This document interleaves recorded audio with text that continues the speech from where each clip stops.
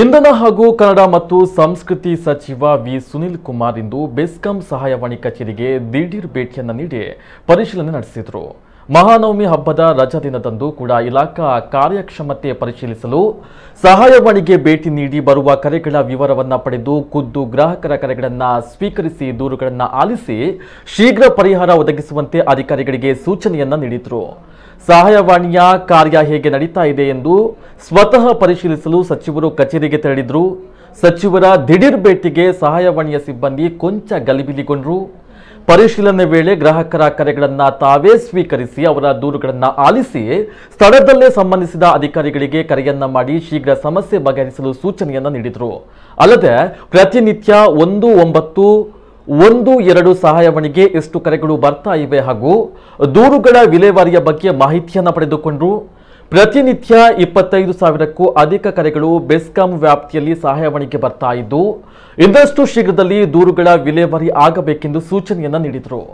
ಇನ್ನೆರಡು ದಿನಗಳಲ್ಲಿ ಅಧಿಕಾರಿಗಳ ಸಭೆ ಕರೆದು ಈ ಪ್ರಕ್ರಿಯೆ ಇನ್ನಷ್ಟು ಸುಲಲಿತ ಹಾಗೂ ಹೆಚ್ಚು ಜನಸ್ನೇಹಿ ಮಾಡುವ ಬಗ್ಗೆ ಸಭೆ ಮಾಡಲಾಗುವುದು ಎಂದರು.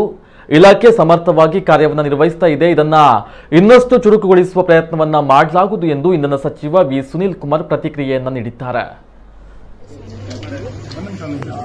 ಹೇಳಿ ತರ್ಕಿನ್ ಕ್ರಾಸ್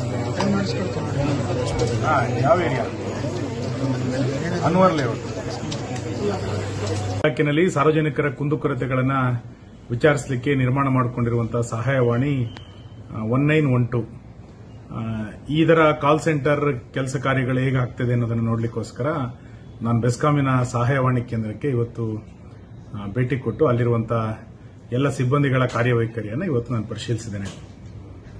ಪ್ರತಿದಿನ ಎಷ್ಟು ಫೋನ್ ಕರೆಗಳು ಈ ಸಹಾಯವಾಣಿಗೆ ಬರ್ತದೆ, ಅದನ್ನ ನಮ್ಮ ಅಧಿಕಾರಿಗಳಿಗೆ ತಿಳಿಸಿ, ಆ ಸಮಸ್ಯೆಗಳಿಗೆ ಯಾವ ರೀತಿ ಪರಿಹಾರವನ್ನು ಕಂಡುಕೊಳ್ತಾ ಇದ್ದಾರೆ ಅನ್ನುವಂಥದ್ದನ್ನೆಲ್ಲದನ್ನು ಕೂಡ ಗಮನಿಸಿದ್ದೇನೆ. ನಾನು ಕೂಡ ಎರಡು ಮೂರು ಕರೆಗಳನ್ನು ರಿಸೀವ್ ಮಾಡಿ, ಆ ಸಮಸ್ಯೆಗಳ ಕುರಿತಂತೆ ತಕ್ಷಣ ಸಂಬಂಧಪಟ್ಟಂತ ಇಲಾಖಾ ಅಧಿಕಾರಿಗಳ ಗಮನಕ್ಕೂ ತಂದಿದ್ದೇವೆ. ಅದರಲ್ಲಿ ಗಮನಿಸಿರುವಂಥದ್ದು ಪ್ರತಿದಿನ ಇಪ್ಪತ್ತರಿಂದ ಇಪ್ಪತ್ತೈದು ಸಾವಿರ ಕಾಲ್ಗಳು ಬೆಸ್ಕಾಂ ವ್ಯಾಪ್ತಿನಲ್ಲಿ ಈ ಸಹಾಯವಾಣಿಗೆ ಬರ್ತಾ ಇದೆ. ಆ ಬಂದಂತ ಸಹಾಯವಾಣಿಗಳಲ್ಲಿ ಬಂದಂತ ದೂರುಗಳನ್ನು ಎಷ್ಟು ವಿಲೇವಾರಿ ಆಗಿದೆ ಅನ್ನೋದನ್ನು ಕೂಡ ಇವತ್ತು ಪರಿಶೀಲನೆ ಮಾಡಿದೆ. ಅದು ಇನ್ನಷ್ಟು ಶೀಘ್ರಗತಿಯಲ್ಲಿ ಆಗಬೇಕು. ಮತ್ತು ಆ ಸರಿಯಾದಂತ ಮಾಹಿತಿಯನ್ನ ಯಾರು ಕರೆ ಮಾಡಿದರೆ ಅಂತ ಗ್ರಾಹಕರಿಗೆ ತಲುಪಿಸಬೇಕು.